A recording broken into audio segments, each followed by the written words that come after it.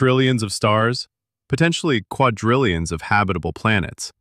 Our universe should be a cosmic metropolis, bustling with life. So, where is everybody? This is the Fermi paradox. The math says the universe should be full of advanced civilizations, but when we look and listen, we find nothing, just cosmic silence. One chilling solution is the Great Filter, a universal barrier so difficult to pass it destroys almost every civilization.